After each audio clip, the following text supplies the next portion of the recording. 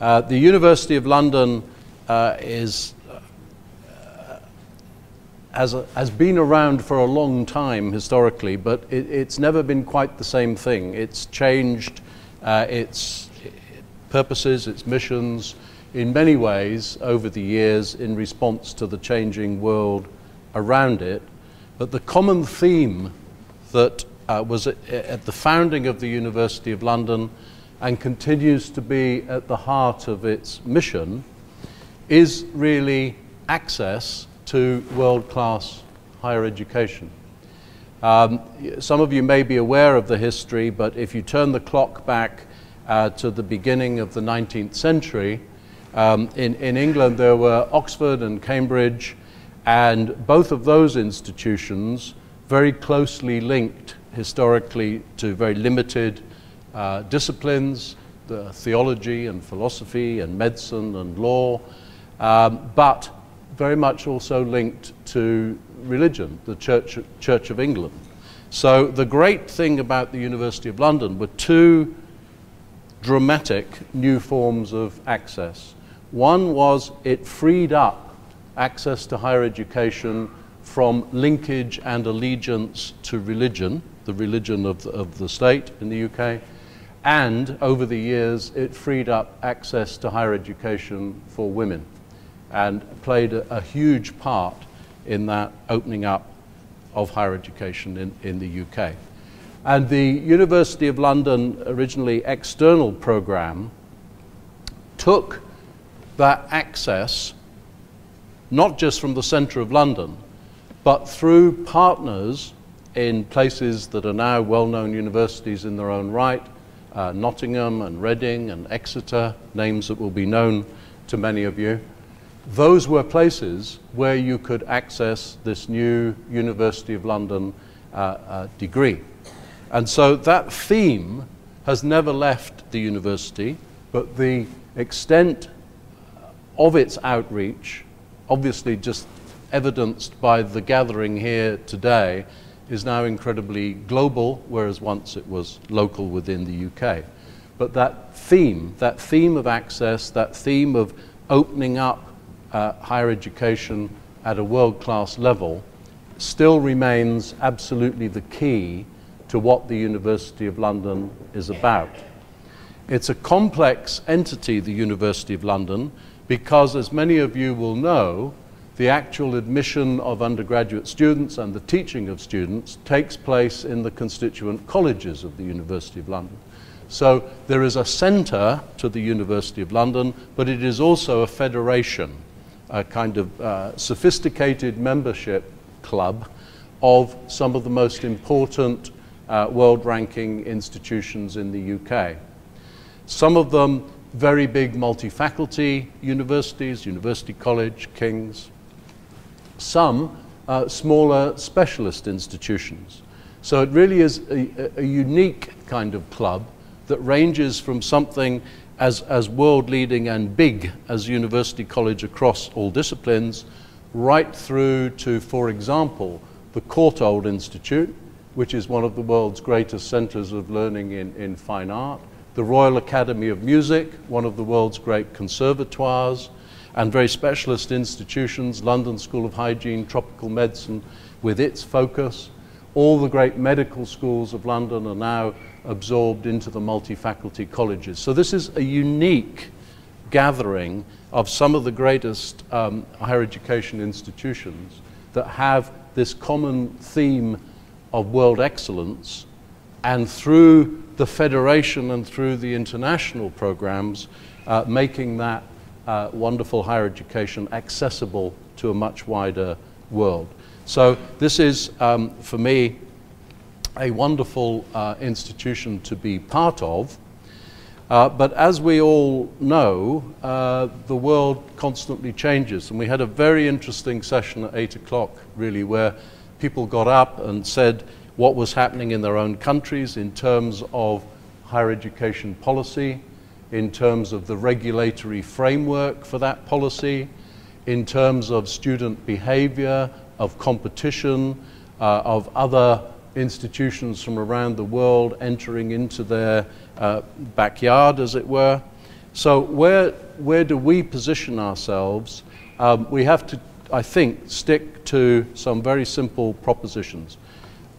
The University of London, part of its mission is to reach out to the world, and it is to provide access to unique quality higher education.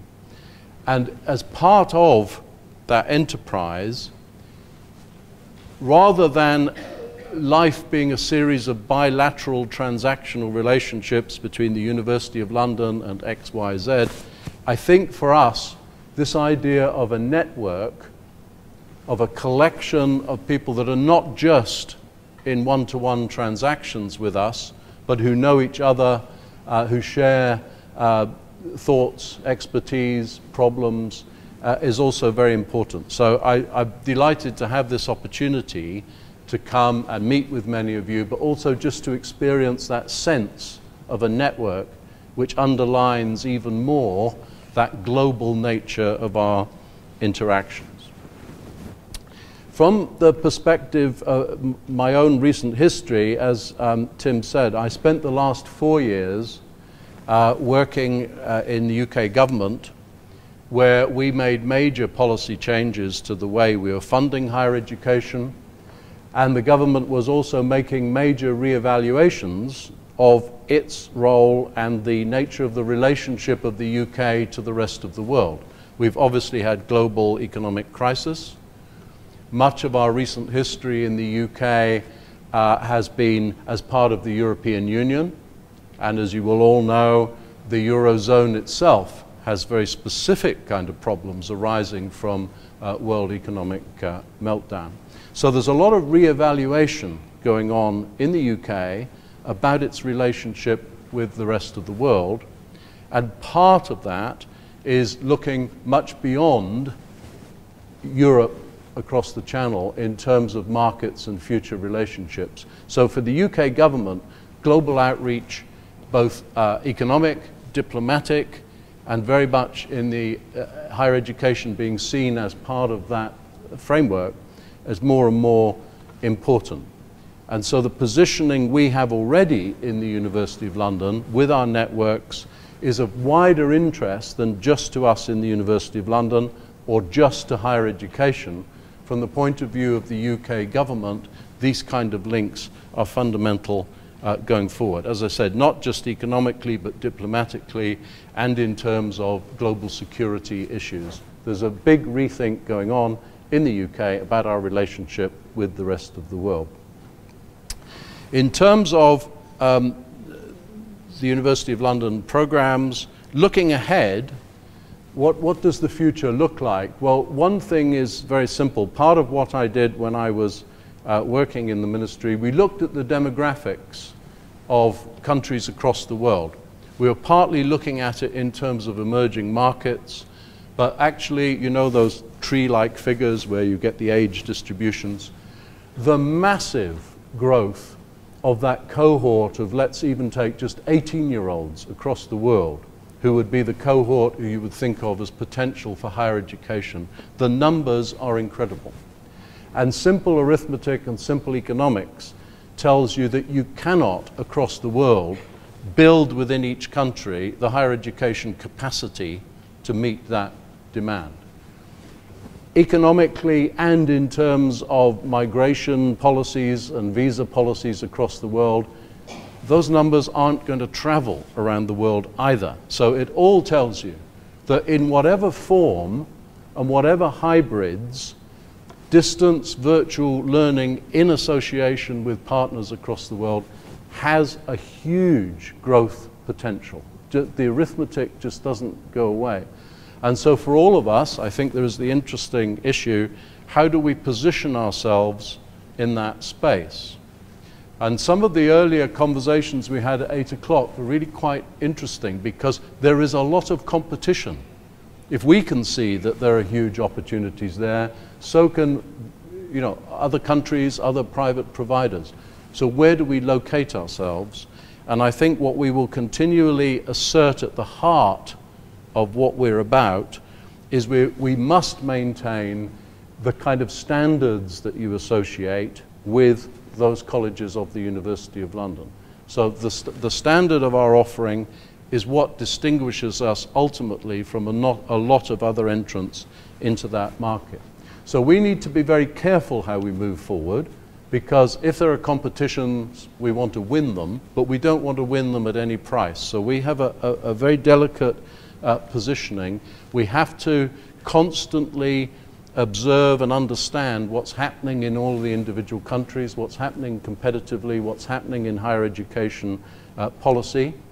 Then we need to carefully debate within London, within the University of London and the colleges of the University of London, of how we position ourselves given those opportunities and those threats. So we need to understand carefully what's happening in terms of country strategies, in terms of regulatory changes, and recognize that there will not only be uh, competition from providers, but there will be challenges that come from new disruptive technologies. We don't know, uh, you know, you, if you wind the clock back 10 years ago, you would not have forecast the iPad and so on and so forth. So you just don't know what kind of technological disruptions there will be to the landscape, and we will all have to evaluate as we go along how we use those. So just to, to, to finish, you can think of all these issues and be very depressed and say the world is a very challenging place, isn't it terrible? Or you can say what fantastic opportunities lay ahead, how exciting it is. So I'm all for being excited, and I'm very excited that you're all here and are going to solve all these problems during the week. I look forward to hearing the solution.